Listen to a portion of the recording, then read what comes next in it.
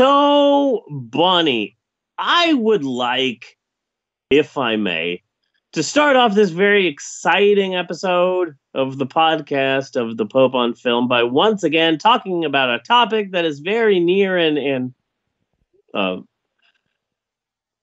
huh okay uh, uh, a topic a topic that is very near and dear to my huh.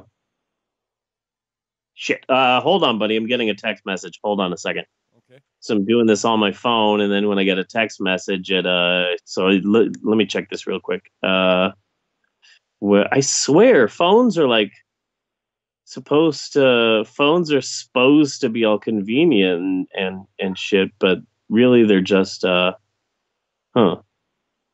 Oh, it's a message from you, Bunny. Okay. Well, Oh. what a pleasant, what a pleasant surprise, Bunny. Let me What did I let me say? just re- let me just read this real quick like uh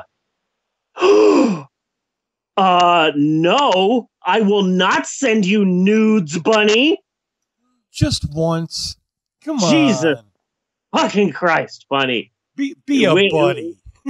what the hell is up with that huh it is it, now i am really uncomfortable bunny working with you this whole podcast has just been thrown for a loop and i don't know if i can go on well we you know working with you is just so uncomfortable now It- i'm really put in an awkward position here It was all a plan. I figured I figured I would get you to do a podcast with me.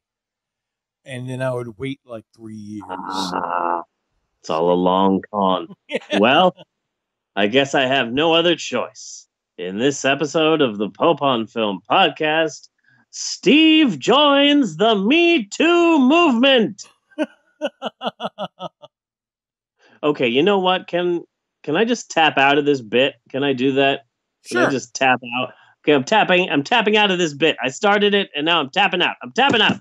This is me tapping out of the bit. I don't want to get publicly shamed for taking on the Me Too movement, or I should say, I don't want to get publicly shamed any more than I've already been publicly shamed. Because just as a man, you're just there's a lot of public shaming True. uh, that happens right now. However, that false start that we just went through taught me a pretty interesting lesson.